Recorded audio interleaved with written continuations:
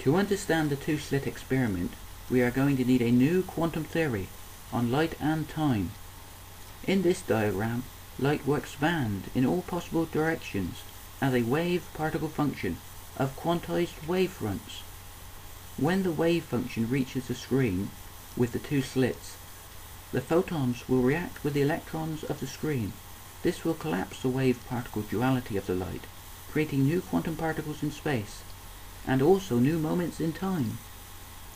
The part of the wave that does not come in contact with the screen will expand in all possible routes, going through both slits as two light spheres of quantized wave fronts. Constructive and destructive interference between the waves will cause them to superimpose or cancel each other out.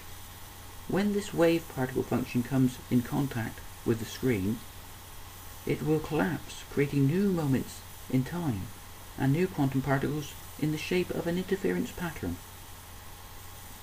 When the observer turns on a detector to determine which slit a photon passes through, the interference pattern will collapse.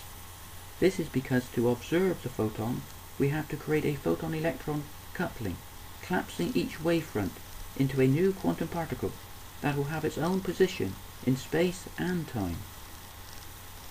When we turn the detector off, we re remove the photon-electron coupling, and in time, the interference pattern will reform.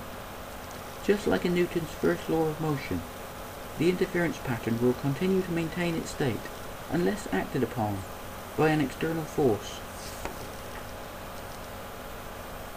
Understanding time is the key to understanding the two-slit experiment. In this theory, the wave-particle duality of light, combined with photon-electron couplings, creates a time continuum. Light will expand out from its center in all directions as a way as a light sphere. Only when a wavefront comes in contact with an electron on the surface of another atom does it collapse into a new quantum particle. This quantum particle will take the form of a photon and will have a position in space and time that the wave function never had before it collapsed. Therefore we have a new moment in time that is part of the time continuum at the most fundamental, le fundamental level, represented by the quantum wave particle function. Time only moves forward because the probability of the wave function only works one way. We always know the position or momentum of a quantum particle in the past.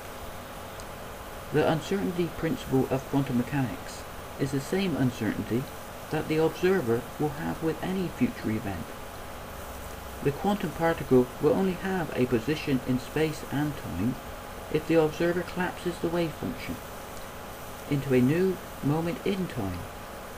It is because the observer can choose when and where to collapse the wave function that we have free will create our own future.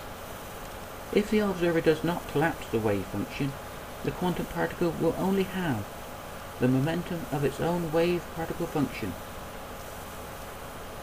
The wave-particle duality of light, or electromagnetic radiation, is continuously creating a blank canvas for the observer that she or he can participate in. This is what Socrates called a sea of beauty. The individual observer is the only true reference frame because they are creating their own time and space relative to their position and momentum. Therefore, the more accurately we know the position of a quantum particle, the less certain we are of its momentum. And if we know its momentum very accurately, then we can't be quite sure where it is. This is because to observe the quantum particle, we create a photon-electron coupling, collapsing the wave-particle function into a moment of time and space that is part of the observer's own created space-time. At a fundamental quantum level, the observer is the observed, within his or her own created space-time. This is very difficult to visualize, but in this oil painting of a geisha girl walking through sunlight, the wave-particle duality of light will collapse as she walks through the rays of light. She will collapse the wave function into moments of time and space, creating her own space-time. We therefore live in a universe of multiple space-times, and each spacetime is governed by the Lorentz contraction of time. Because this is a continuous process at the same speed that light moves, the expanding wave function of light between the atoms will always be a universal constant, independent of the motion of the source. This can also explain why light is so beautiful when it strikes an object. It is because we are looking at a moment of pure creation of time and space. This theory is very simple, but I think it is also very beautiful. It can explain all the paradoxes of quantum mechanics. It also explains why light is a universal constant, and why we have the forward momentum of time. But above all this, we have the free will for the creative evolution of our own reality within the dynamically evolving universe of Einstein, and quantum mechanics and classical mechanics of Newton are united